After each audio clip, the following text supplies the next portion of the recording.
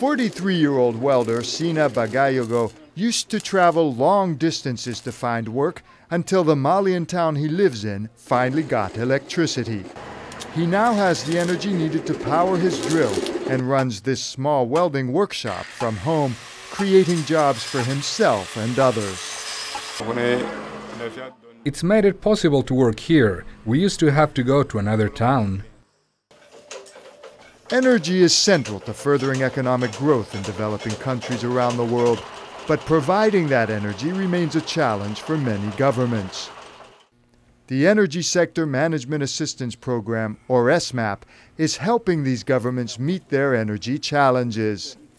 We have, over the last uh, couple of years, dispersed more than $50 million for 200 analytical advisory activities. Those activities have helped identify, design, and prepare $16 billion worth of energy sector loans at the World Bank, multiplied several times over when other financiers are involved. In Africa, 650 million people still have no access to electricity. In response, ESMAP is helping the governments of African countries, including Mali, Ghana, Kenya, and Rwanda, to provide clean, safe, and reliable energy to their populations.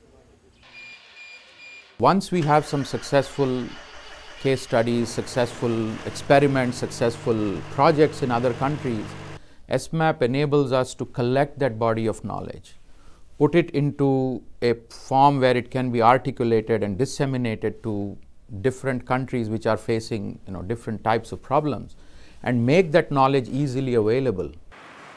In East Asia, ESMAP has guided governments in planning energy efficient buildings and has helped ease traffic congestion and gas emissions by introducing thousands of fuel efficient buses. The World Bank, through ESMAP has been helping our Energy Regulatory Commission as far as coming up with the right, uh, shall we say, feed in tariff to promote new renewables like wind and solar and biomass, and coming up with sort of analysis on what is the avoided cost of thermal power.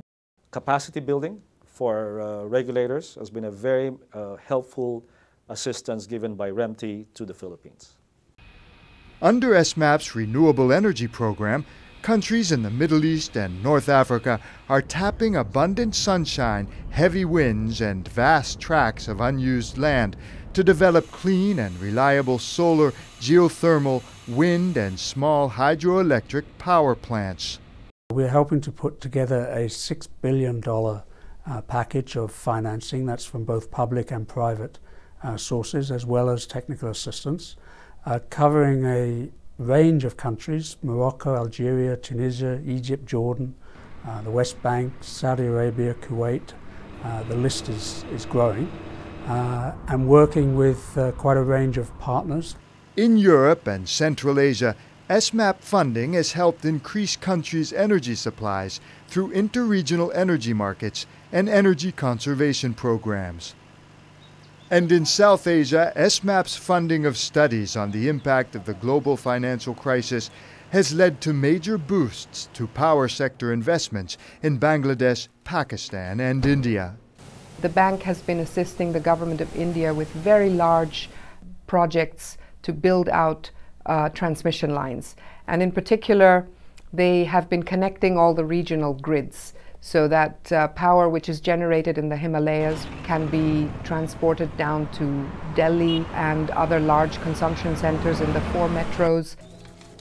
And in countries of Latin America and the Caribbean, ESMAP is working with governments to develop low carbon approaches to generating energy. In the Latin American Caribbean region, most of the countries that we deal with are middle income countries and have high degrees of access. What we're looking to do is really to help the countries increase the amount of renewables that they use, to promote energy efficiency, and to generally help them improve the efficiency with which they plan the development of the energy sector. I see ESMAP focusing really on three areas. One is introducing the concept of results-based financing into the energy sector. Second, scaling up our work on energy access, not just electrification, but also household energy for cooking, heating, and lighting. And finally, finding a way to link concerns about climate change with our clients' policy objectives for increasing access and improving the reliability of their energy sectors. As populations increase, so will their energy demands, and so will ESMAP's support of the developing world's projects to increase safe and reliable electricity access for all.